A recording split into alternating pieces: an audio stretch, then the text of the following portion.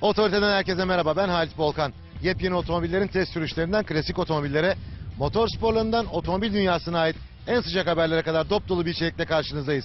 Emniyet kemerlerinizi bağlayın. Otorite başlıyor. Süper spor görünümünde GTI performansı. Peugeot RCZ. R1 Challenge'ın İzmir yarışında adrenalin patlaması yaşandı. Porsche'nin Süper Spor Ligi'ne giriş modeli Cayman.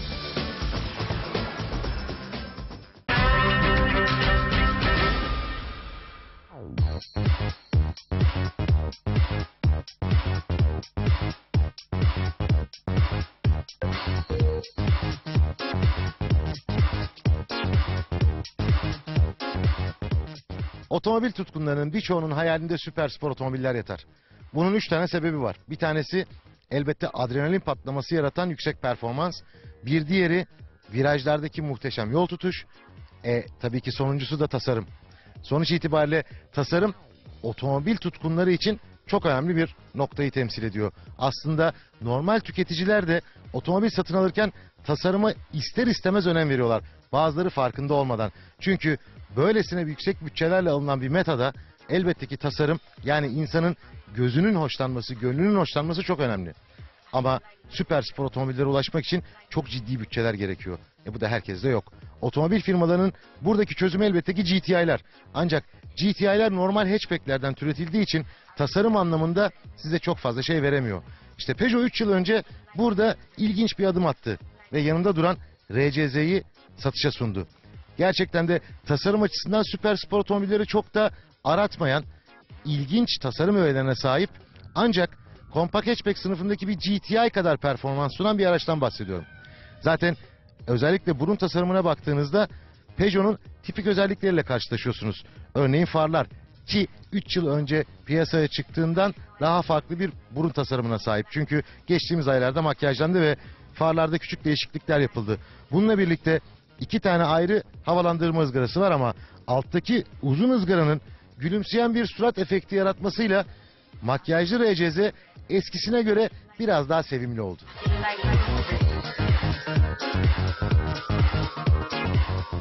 4287 mm uzunluğundaki RCZ 308 platformunda yükseliyor. Aks mesafesi 2612 mm.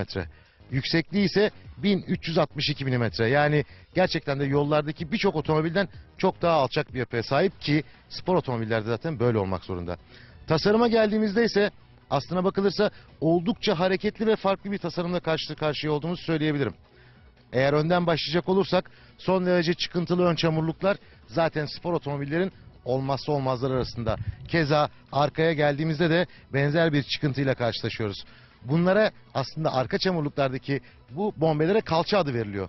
Ve dikiz aynasından bu kalçaları görmek birçok sürücü için gerçekten nefes kesen bir gösteri.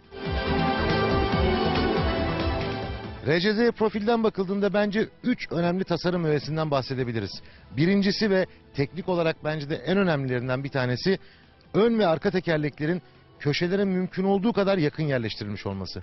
Böylece ön aks veya arka akstan sonra fazla bir ağırlık kalmıyor. Bu da yol tutuş anlamında önemli bir avantaj sağlayan teknik özelliklerden bir tanesi. İkinci önemli tasarım unsuru ise tavanda gizli. Eğer dikkat edecek olursanız gövde renginden farklı renge boyanmış olan bu sütun ki A sütundan itibaren C sütununa kadar tek bir parça olarak geliyor. Kubbeye yakın bir tasarım oluşturuyor. Ancak kapıdaki cam çizgisinin arkadaki küçük cama doğru bir anda daralması hem görsel olarak arkaya doğru tavanın olduğundan daha hızlı indiğini düşündürtüyor ki aslında bir miktarda öyle. Hem de daha sportif bir hava katıyor. Fakat asıl önemli tasarım burada değil. Burada. Yani tam arka camın üzerinde. Eğer dikkat edecek olursanız tam sürücü ve yolcu koltuğunun oradan itibaren tavan ve camın orta kısmı aşağıya doğru bombe alıyor. Geçmişte 1950 ve 60'lı yıllardaki bazı yarış otomobillerinde bu işlem gerçekleştirildi. Çünkü kaskla beraber pilot sığmazdı. Bu yüzden de sürücünün üzerine bir bombe yapılırdı. Ancak elbette RCZ'de bu iş bunun için yapılmamış. Daha farklı bir tasarım ki arka camın sonuna kadar da ilerliyor. Burada aerodinamik bazı kaygılar ön plana çıkıyor.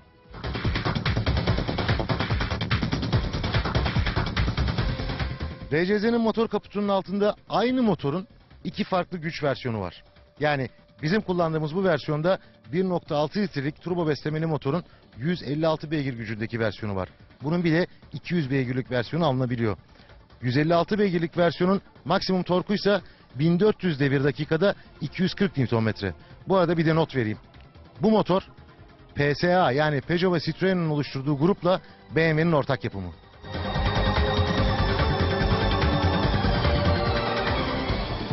Arka tasarıma gelirsek çok hafif bir eğimle arkaya doğru uzayan bagaj bölmesinde aslında burun tasarımı ile ilintili çok fazla tasarım öğesiyle karşılaşmıyoruz. Sadece stop lambalarının farlarla olan benzerliğinden bahsedebiliriz. Elbette çift egzoz çıkışı bu otomobilin sportifliğini vurgulayan unsurlardan bir tanesi. Peki ya bagaj? Sonuçta spor otomobillerde bagaj her zaman problemdir. Ancak bu arka uzun yapıya baktığımız zaman bu kapağın altında bizi büyük bir hacmin beklediğini düşünüyoruz. Bunu açmak için de isterseniz plakaların üzerindeki düğmeye basıyorsunuz, isterseniz de hemen kontak anahtarının üzerinde ortadaki düğmeye. Böylece bagaj kapağı açılıyor ve karşımıza 378 litrelik bir bagaj hacmi çıkıyor. Aslında 378 litre oldukça büyük. Özellikle de Compact Hatchback sınıfındaki birçok modelden daha fazla. Ama eğer RCZ'yi lastik tamir kitiyle değil, orijinal ebattaki bir yedek lastikle almaya kalkarsanız bu hacmin en azından üçte ikisi lastiğe verilmek zorunda kalıyor ve çok az bir alan kalıyor. Dolayısıyla böyle bir durumda kullanışlı bir bagajdan söz etmek mümkün değil. RCZ'nin iç mekanı da aynı dış tasarımda olduğu gibi süper sport otomobillere göndermelerle dolu. Aslında bu açıdan bakıldığında Peugeot mühendislerin gayet iyi bir iş çıkardığını rahatlıkla söyleyebilirim. Aslında ilk bakışta bu kokpitin Peugeot mühendislerinin elinden ya da tasarımcıların elinden çıktığını söylemek aslında çok kolay. Fakat yine de bazı süper spor otomobillere benzer yanları olduğunu da şimdi detaylarıyla açıklamaya başlamak gerekiyor. Örneğin orta konsolun sürücüye doğru eğimli bir şekilde yaklaşması ve vites konsolunda biraz yüksekte kalması zaten süper spor otomobillerde çoğunlukla karşımıza çıkan etkenlerden bir tanesi. Burada şunun altını çizmek gerekiyor. Süper spor otomobiller ya da genel olarak bakıldığında spor otomobiller sürücü odaklı olmak zorunda. Üstelik sürücü güçlü bir otomobili kullanırken kesinlikle dikkatinin dağılmaması ve kendisi için çok önemli olan bazı verilere de bir bakışta ulaşması gerekiyor. Kokpitin en üst kısmında açılır kapanır bir ekran var. Bu yeni nesil Peugeot'larda karşımıza çıkmaya başlayan bir yeni donanım. Kontağı kapattığınız zaman sistem kapanıyor ve tamamen düz bir hat haline geliyor. Kontağı açtığınızda ise tekrar yerinden çıkıp gerekli birçok bilgileri size sunmaya hazır hale geliyor. Burada bu renkli ekran ki 3 farklı renkte ayarlayabiliyorsunuz. Navigasyon, müzik sistemi, bir takım ayarlar, telefon ve multimedya sistemleri için bir görüntüleme merkezi olarak çalışıyor. Eğer otomobili kullanırken oradaki herhangi bir bilgiye ulaşmaya çalışırsanız çok zorlanmadığınızı fark edeceksiniz. Çünkü yukarıdaki yapısı gözünüzü sadece çok az sağa kaydırarak büyük yazılmış birçok bilgiye çok kolay ulaşmanızı sağlıyor. Bu anlamda bence başarılı bir çalışma. Üstelik ışığın geldiği açı ya da sizin boyunuza ve koltuk ayarınıza göre ekranda yansıma olmamasını istiyorsanız hemen sol taraftaki düğmeyle eğimini ayarlayabiliyorsunuz yani açısını. Bu bence hoş bir yaklaşım. Ayrıca buradaki bilgilerin hiçbirine şu anda ihtiyacım yok. Ben burada herhangi bir ışık kaynağı istemiyorum diyorsanız ki bu özellikle gece sürüşlerinde çok önemli bir nokta. O zaman sağ taraftaki düğmeye basıp bu ekranı tamamen kapatabiliyorsunuz. Hemen altında işte spor otomobillerdeki ortak noktalardan bir tanesi karşımıza çıkıyor. Bahsettiğim şey yuvarlak havalandırma ızgaraları değil. O ikisinin arasındaki analog saat. Alt tarafa indiğimizde piyano boyalı olan parlak bölümde müzik sistemi ve hemen altında da elbette klima sistemiyle karşılaşıyoruz. Kullanması son derece kolay olan sistemler. Ve ikisinin arasında ve en altta da birer eşya gözü var ki böylesine küçük bir otomobilde eşyalarınızı koyacak yer bulmanız açısından faydalı bir yaklaşım.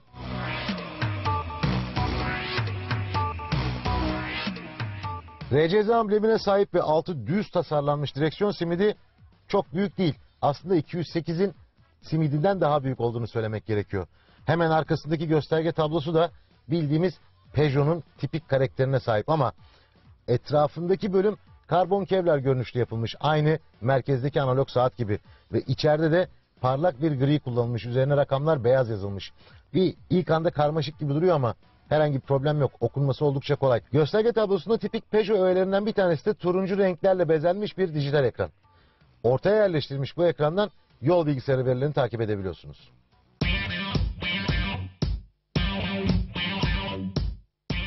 Dikkat ettiyseniz direksiyon simüllerinde bir tane bile kumanda düğmesi yok.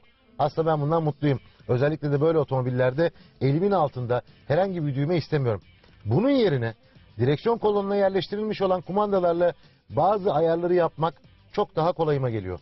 Örneğin Peugeot'da alışıldık şekilde sağ tarafta müzik sistemi kumandası var. Sol tarafta ise hız sabitleme ve sınırlama sisteminin. Böylece hem sade bir görünüm elde ediliyor yani kafa karışıklığı olmuyor hem de yine de ellerinizle çok kolay ulaşabildiğiniz bir noktadan müzik sistemini ya da hız sabitleme sistemini ayarlayabiliyorsunuz.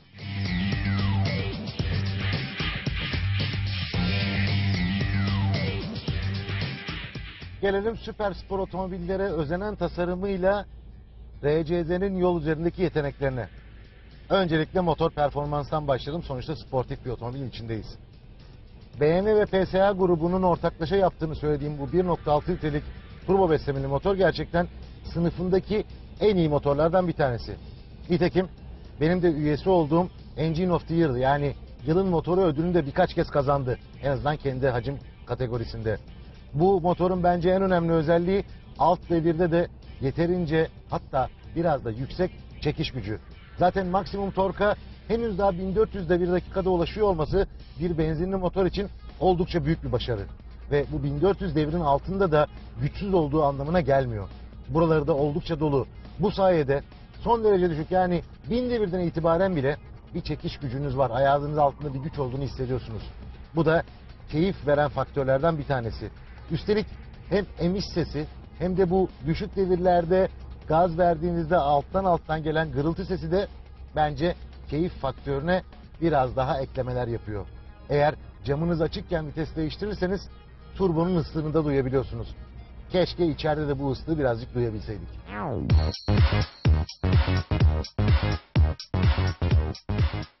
İşin güzel tarafı motor sadece alt devirlerde güçlü değil. Aynı zamanda yüksek devirlerde de yırtıcı bir hal alıyor. Ve gaz pedalına verdiği tepkiler de oldukça hızlı. Yani bir spor otomobilde olması gerektiği gibi davranan bir motorla birlikteyiz. Elbette 156 beygir çok yüksek bir güç değil. Bu bir gerçek. Ancak eğer daha yüksek performans istiyorsanız 200 beygirlik versiyonu seçebilirsiniz. Daha önce 156 beygirlik versiyonda manuel şanzıman seçeneği Türkiye'de sunulmuyordu.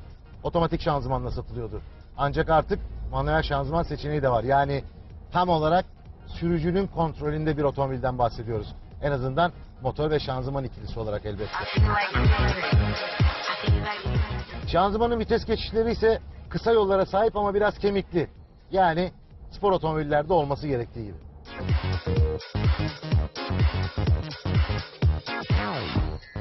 Böyle bir otomobilde sadece performans tek başına yeterli değil. Buna iyi bir yol tutuşunda eşlik etmesi gerekiyor.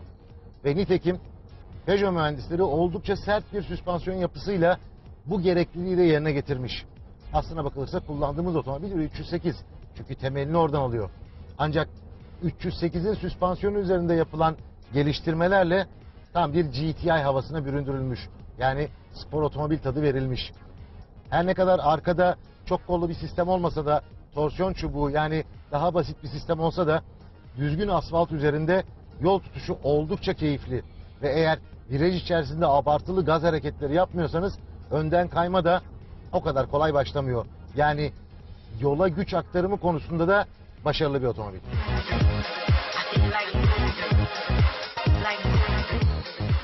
Alçak yapısı sayesinde ağırlık merkezinin de oldukça alçakta olması yol tutuşta ayrı bir etken elbette. Ancak işin konfor tarafına geldiğimizde zayıflıkla karşılaşıyoruz. Bu son derece doğal. Bu kadar sert bir süspansiyonun bozuk zeminli bir yolda yolcu ve sürücüyü rahat ettirmesi zaten mümkün değil. Ancak keşke bu küçük darbelerde sönümleme şansı biraz daha fazla olsaydı. Çünkü Türkiye yollarında küçük tümseklerle çok karşılaşıyoruz.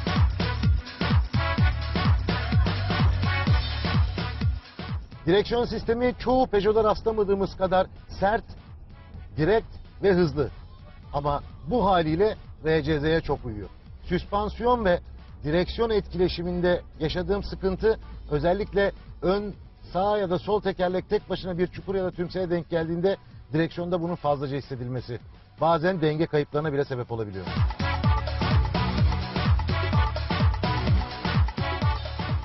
Yüksek değil ama keyifli performansla birlikte bu otomobilin yakıt tüketimi de aslında çok değişken. Eğer makul kullanırsanız en azından şehir içi, şehirler arası karmadaki İstanbul şartlarından bahsediyorum.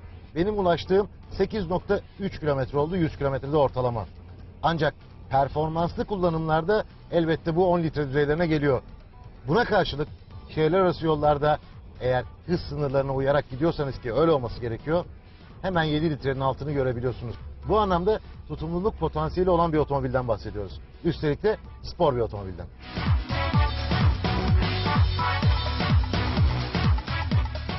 Fren sistemini de beğendim.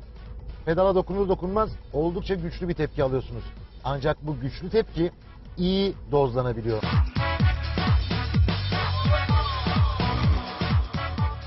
Sonuç olarak Peugeot RCZ GTI performansı isteyen ancak GTI'lerde beklediği tasarımı bulamayanlar için gerçekten hoş bir tasarım ve GTI performansını bir arada sunuyor. Hem başarılı bir motor, üstelik tutumluluk potansiyeli var, yol tutuşu gayet iyi ve tasarım açısından da yollardaki birçok otomobilden daha heyecan verici. Eğer yüksek performans istiyorsanız 200 beygirlik versiyonu da var. Sonuçta bu özel bir otomobil ve özel istekleri olan otomobil tutkunlarını bekliyor.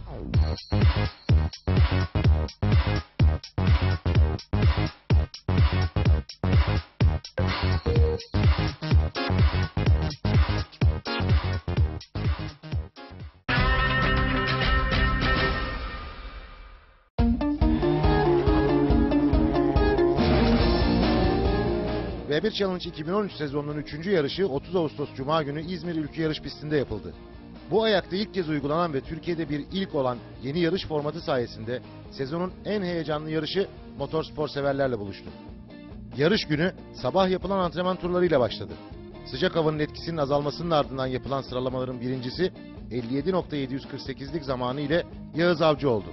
İkinci sırada Cantolon 57.901 ile yer alırken üçüncü 58.007 ile Burak Çukurova oldu. 10 tur üzerinden yapılan yarışta pilotlar starttan sonra istedikleri turda kısa piste girerek bir tur attı ve hemen ardından büyük piste döndü. Heyecanı arttıran bu formatta Cantolon rakiplerine geçit vermedi ve startla elde ettiği birinciliği kimseye kaptırmadı. İlk yarışın ikincisi Burak Çukurova olurken üçüncü sırada Koray Muratoğlu yer aldı. Geçen senenin birincisi Yağız Avcı ise virajda lastiklere temas ederek spin attı ve otomobilinde oluşan hasardan ötürü yarışı ancak 8. sırada tamamlayabildi. İkinci yarış sıralamalarda ilk 12 pozisyonda yer alan pilotların tersten start almasıyla başladı. İlk turdan son tura kadar otomobillerin yakın mücadelesi durmadı.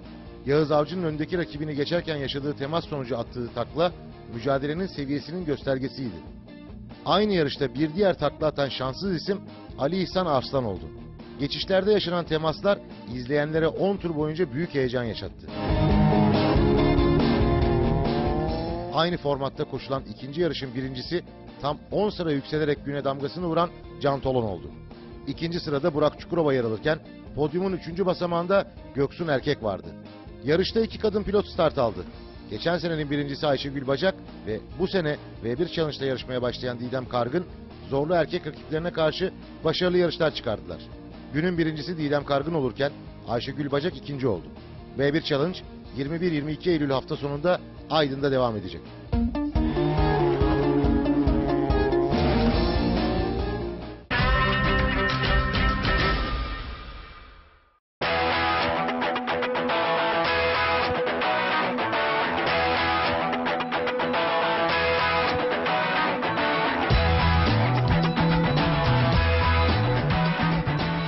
Peugeot RCZ'yi anlatırken hatırlayacaksınız süper spor otomobillerle otomobil tutkunlarının arasındaki ilişkiden bahsetmiştim. Şimdi ise yanımda süper spor otomobil ligine giriş anlamını taşıyan bir model var. Porsche Cayman.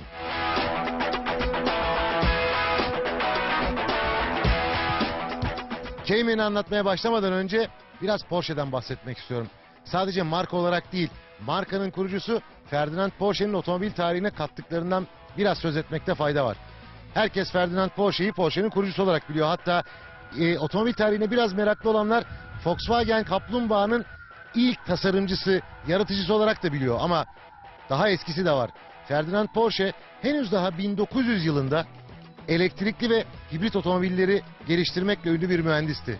Hatta dünyadaki ilk menzil artırıcılı elektrikli otomobili yapan da Ferdinand Porsche'ydi.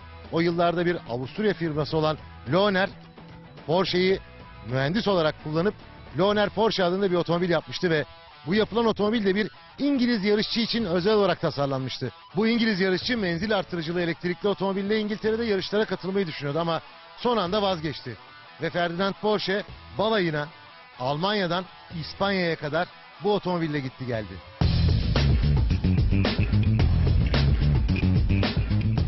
Porsche dünyanın en ünlü spor otomobil markalarından bir tanesi. Ve özellikle de 911 modeli zaten tam olarak bir ikon.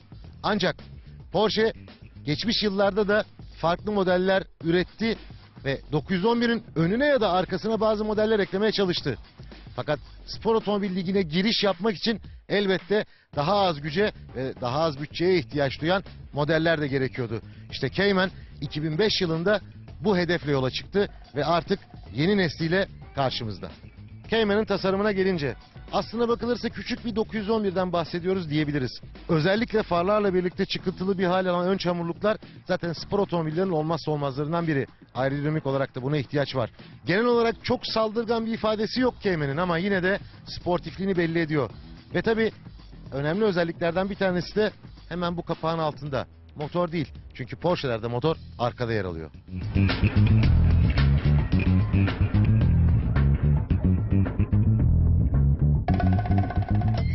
Kontak anahtarından da açılabilen bu kapağın altında motor değil ama bagaj var. Bagaj hacmi olarak 150 litre zaten oldukça küçük. Üstelik son derece derin ve dar bir yapıya sahip. Yani Porsche için özel bavul setlerinden almak zorunda kalabilirsiniz.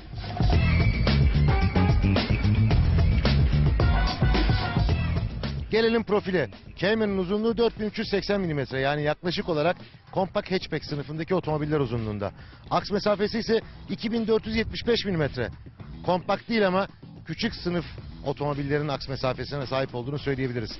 Buna karşılık 1.3 metreden daha az olan yükseklik zaten spor otomobillere özgü ağırlığı aşağıya çekmeye yönelik uygulamalardan biri. Hem de havayı yarmak daha kolay.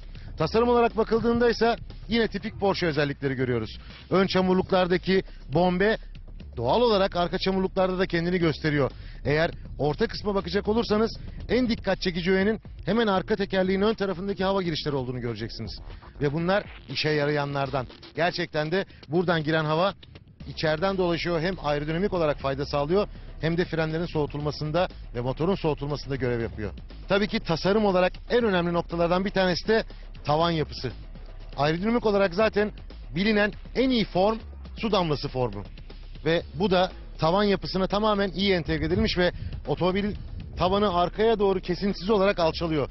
Aslına bakılırsa aerodinamik olarak çok fazla etkisi olmayacağını bilsem bile ki etkisi var.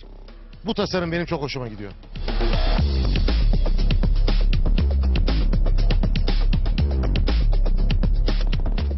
Geriye doğru kesintisiz olarak alçalan tavan yapısı sayesinde arkada oldukça büyük bir cam alanı kalıyor.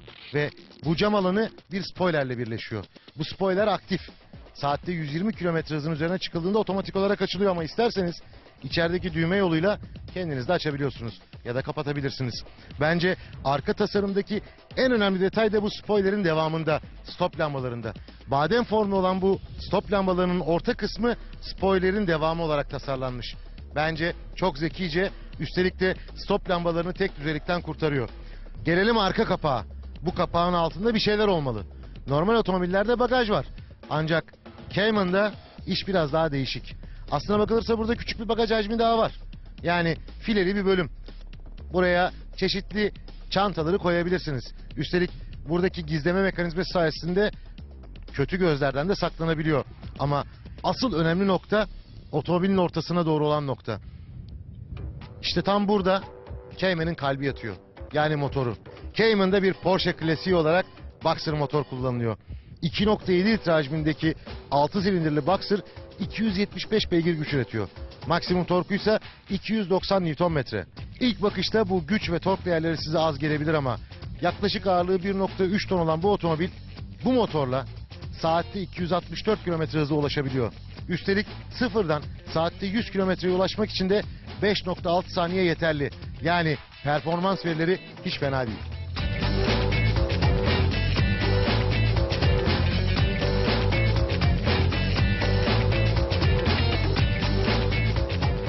Cayman'ın iç mekanında aslına bakılırsa Porsche karakterine uygun bazı tasarım öğeleriyle birlikte sıradan sayabileceğimiz bazı tasarım unsurları da var. Öncelikle orta konsoldan başlamak istiyorum çünkü ilginç donanımlardan bir tanesi orada kendine yer bulmuş. Havalandırma ızgaralarının arasındaki kronometre Chrono paketinin bir parçası ama kullanmasanız bile bence oldukça şık görünüyor. Hemen altında orta konsolun yarısından fazlasını kaplayan renkli bir ekran var. Bu elbette dokunmatik ve günümüz şartlarında zaten olmamasına şaşırırdık. Ancak ilginç olan bu büyük ekranda çok fazla sistemle haşır neşir olmamanız. Aslına bakılırsa multimedya anlamında çok daha aşağıdaki sınıflarda yer alan yani örneğin küçük sınıfta ya da kompakt sınıfta yer alan otomobillerde bile renkli ekranlarda çok daha fazla sayıda multimedya olanağı var. Herhalde Porsche sürücünün sadece yolla ilgilenmesini tercih ediyor ki benim de tercihim bu yönde. Ekranın hemen altındaki bölümdeki düğmeler müzik sistemiyle birlikte ekrandan yaptığınız bir takım ayarlara ait. Vites konsolunun başladığı noktadaki düğmelerse klima sistemine ait. Ancak burada vites kolunun bulunduğu nokta itibariyle özellikle havalandırma yönlendirmesi için kullanılan düğmelerin sağ tarafta yer alması sürücünün işini biraz zorlaştırabiliyor. Porsche'de PDK adını taşıyan çift kavramalı otomatik şanzıman kolunun hemen arkasında yine bir dizi düğme var.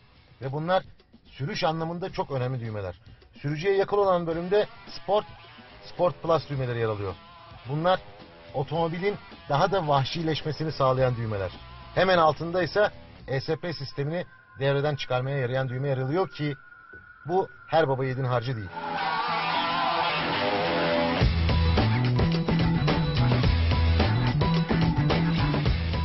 Sağ tarafta ise iki tane düğme var. Bunlardan üstteki spoiler'i manuel olarak açmanızı sağlıyor.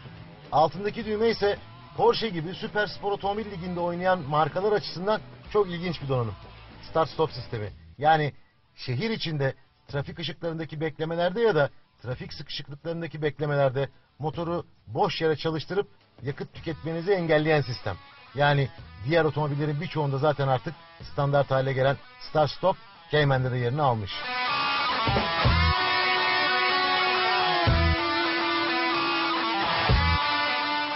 Gelelim sürücü için daha önemli olan bölüme. Yani direksiyon ve gösterge tablosuna. Direksiyon simidi geçmiş yıllarda özellikle 50'li 60'lı yıllardaki yarış direksiyonlarını hatırlatıyor. Elbette onlardan çok daha modern ama genel yapı itibariyle gerçekten o yıllara bir gönderme olduğunu rahatlıkla söyleyebilirim. Direksiyon simidi elbette büyük değil ve üstelik ele gayet iyi oturuyor. İlk bakışta direksiyon simidi üzerinde herhangi bir düğme görmüyorsunuz. Ancak eğer kolların içine dikkatli bakarsanız bazı önemli verilerin orada saklandığını göreceksiniz. Örneğin sport düğmesine bastığınızda sol taraftaki bölümde yani üstteki kolda sport ışığı yanıyor. Ya da launch kontrolü devreye sokacaksanız onu da sağ tarafta görüyorsunuz. Bu anlamda bu kollardaki küçük bölümler ekran görevi görüyor diyebilirim. Direksiyon üzerinde herhangi bir düğme yok. Ama arkasında elbette ki PDK yani çift kavramalı otomatik şanzımanı manuel olarak kullanmanızı kolaylaştıran vites değiştirme kulakçıkları var. Bence son derece kullanışlı. Gelelim gösterge tablosuna. Porsche geleneklerinden çok fazla kopmadan modernleştirilmiş bir gösterge tablosuyla karşı karşıyayız. Üç ayrı dairenin birleşimiyle oluşturulmuş ki Porsche çok uzun yıllardan beri bu tip bir yapıyı kullanıyor. Ortada elbette spor otomobillerde olması gerektiği gibi devir göstergesi bulunuyor. Fakat devir göstergesinin altındaki dijital bir ekrandan dijital olarak hızla izleyebiliyorsunuz. Böylece tek bakışta hem motor devrini hem de hızı görebiliyorsunuz. Elbette hız göstergesi ayrıca sol tarafa yerleştirilmiş. Herhangi bir problem yok. Ancak sağ tarafta tamamen dijital bir gösterge daha var. İşte burada yol bilgisayarı verilen üstelik oldukça kapsamlı olarak izleyebiliyorsunuz.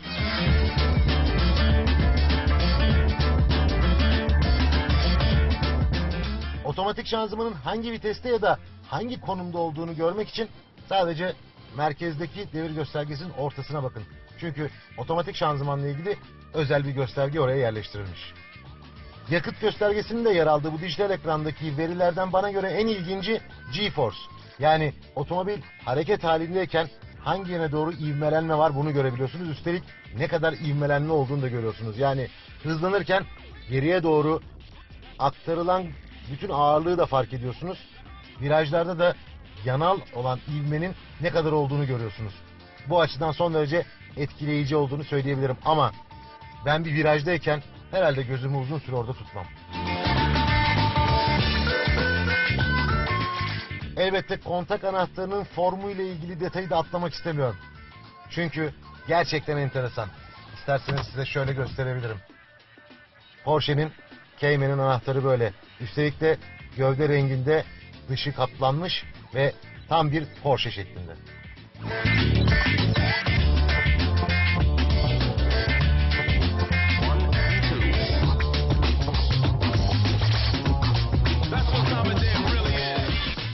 Gelelim Cayman'ın yol yeteneklerine.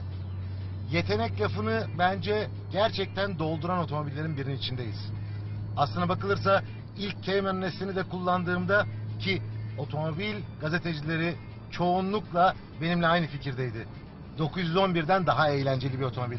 Çünkü daha kompakt yapıda, daha hafif, daha az gücü olmasına rağmen çok daha kolay kontrol edilen ama performansı da oldukça tatmin edici bir otomobildi. Nitekim yeni nesil de öyle. Şimdi öncelikle performanstan başlayalım. Şu anda sport modundayım ama normal moda dönmekte fayda var. Buradan başlayarak yukarıya doğru gitmek istiyorum. 2.7 litrelik Boxer motor normal pozisyondayken yeterince keyifli ama yakıt tüketimini aşağı düşürmek için de 7 ileri vitesli PDK otomatik şanzımanla iyi bir işbirliği yapıyor. Aslına bakılırsa bir teknik veriyi açıklamakta da fayda var.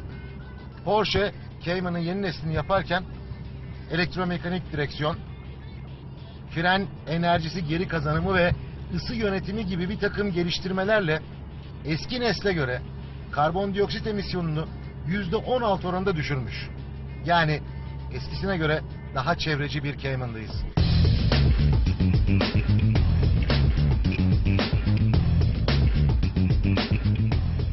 Altı silindirli motor gerçekten alt devirlerde de yeterince güç üretiyor. Yeterinceden kasıt elbette ki spor bir otomobil için. Ve otomatik şanzıman da yani PDK da Volkswagen'deki DSG gibi ki aynı şanzımandan bahsediyoruz. Son derece hızlı davranıyor. Peki sporta bastığınızda ne oluyor? Hemen motor devri biraz daha yükseliyor sabit gazdayken. Çünkü sırtınızda çalışan motorun besleme sistemi ve ayarları değişiyor. Ve gaz pedalına olan tepkiler biraz daha hızlanıyor. Motor biraz daha fazla bağırmaya başlıyor ve elbette vitesler de daha yüksek devirde değiştiriliyor. Ama daha eğlenceli kısım Sport Plus'ta. İşte burada her şey gerçekten vahşileşiyor. Ve iki elinizin her zaman direksiyonda olmasını gerektirecek bir pozisyona geliyorsunuz.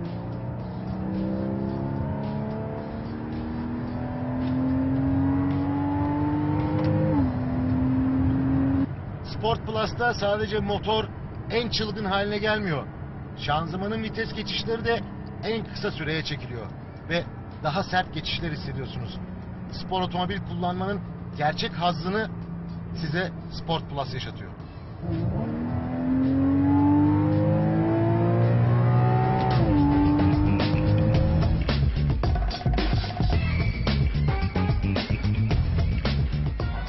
Şanzımanla ilgili bir tane eleştirim var. Aslına bakılırsa DSG ailesiyle ilgili aynı eleştiriyi tekrarlayacağım. Özellikle çok sıkışık trafikte, çok hafif durkantlar yapmak zorunda kaldığınızda ya da park etme manevralarında çok hassas davranamıyor ve biraz sarsıntıya sebep oluyor. İşte tork konvertörlü şanzımanların en önemli avantajı da bu noktada karşımıza çıkıyor. Peki performans açısından bu kadar keyifli bir motor şanzıman ikilisi akaryakıt istasyonuna gittiğinizde cebinizden ne kadar ödeme yapılmasını gerektiriyor. Burada birden fazla kişiliğe sahip bir otomobilden bahsediyoruz. Eğer normal moddaysanız ve gaz pedalına insaflı davranıyorsanız rahatlıkla 9-10 litre arası bir tüketimle Cayman'le dolaşabiliyorsunuz. Eğer o insafı biraz bırakırsanız, örneğin sporta geçerseniz ve biraz gazlamak isterseniz 10,5-11 litre aralarda geziyorsunuz. Ama Sport Plus'a basıp ben bu otomobilin damarına basacağım diyorsanız o zaman 14 litreleri gözden çıkarmanız gerekiyor.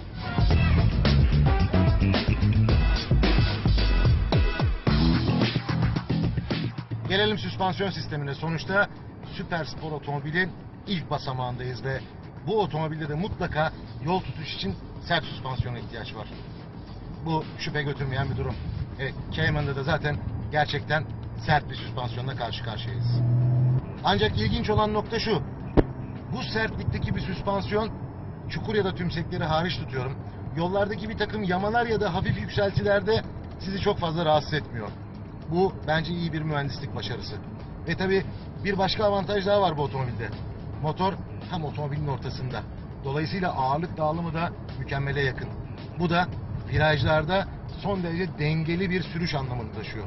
Ve virajlarda dikkat çeken noktalardan bir tanesi de gaz pedalı tepkileri ve direksiyon tepkilerinin gerçekten zamanında ve net olması sayesinde bu otomobilin son derece kolay yönlendirilebilmesi. Elbette ESP sistemi var.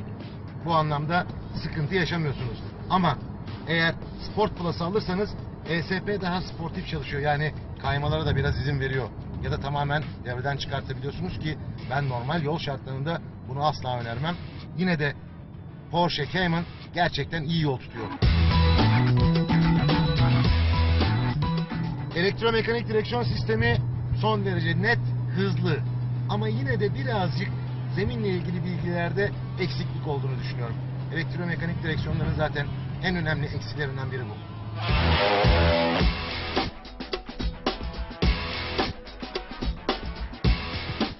Gelelim görüş açılarına. Genelde süper spor otomobillerde bu bir problemdir ama bu yağmur damlası formu galiba işi biraz kurtarmış. A direkleri çok kalın değil. Üstelik aynalar da direklere yapışık değil. Dolayısıyla arada virajları görebiliyorsunuz. Geri görüşte de herhangi bir problem yok. Sadece otomobilin nerede bittiğini bilmiyorsunuz ama burada da park yardımcı sistemi var. Çok önemli bir problem yok. Bu otomobili kullanırken bence dikkat etmeniz gereken en önemli husus çamurlukların çıkıntılı yapısı.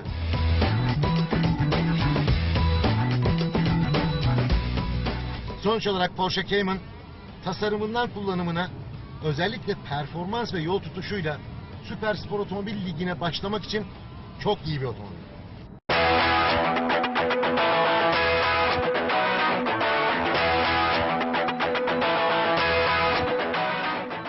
Bir otoritenin daha sonuna geldik. Umarım keyif almışsınızdır. Kaçırdığınız bölümleri ahaber.com.tr adresinde programlar sekmesinden izleyebilirsiniz. Soru, görüş ve önerileriniz için e-posta adresimiz otorite.ahaber.com.tr Haftaya görüşmek üzere.